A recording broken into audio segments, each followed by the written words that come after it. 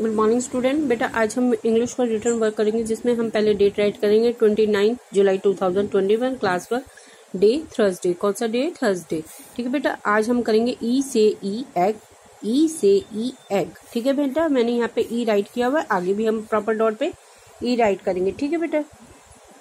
Dot two dot join the dot ई आप सभी student ने प्रॉपर डॉट पे ही बेटा ई राइट करेंगे अकॉर्डिंग टू डॉट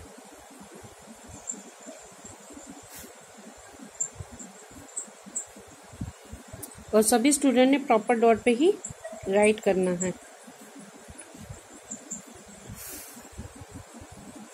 ई से ई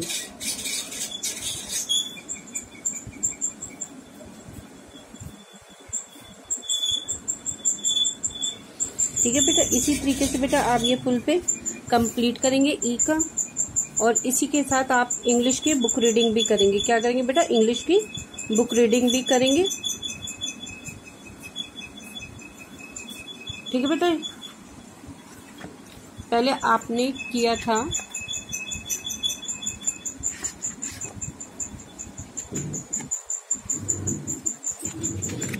बेटा पहले आपने एफ़ तक बुक रीडिंग करी थी आज आप करेंगे जी जी जी गा जीगा ग्रेप्स जीगा ग्रेप्स।